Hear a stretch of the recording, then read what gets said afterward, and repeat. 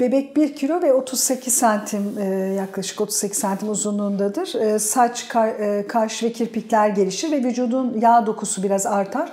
Yağ dokusu özellikle doğumdan sonra bebeğin vücut ısısının korunmasında oldukça önemlidir.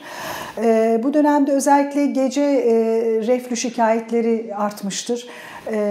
Diyaframın diyaframın yukarı itilmesine bağlı olarak ve uyku problemleri ortaya çıkar annede. O nedenle yastık sayısını arttırmak gerekebilir ve bir de çok tok olarak yatmamak lazım. E, mideyi rahatlatıcı doktorunuzun önerdiği şurup ya da tablet şeklinde ilaçları kullanabilirsiniz. Gebelikte hiçbir sakıncası yoktur. E, onun dışında... E, Uyku sorunu e, genellikle hormonların etkisiyle son dönem bu dönemlerde başlar ve e, gebeliğin erken döneminde ne kadar çok uyuyorsak artık bu dönemde de uyku o kadar azalmıştır.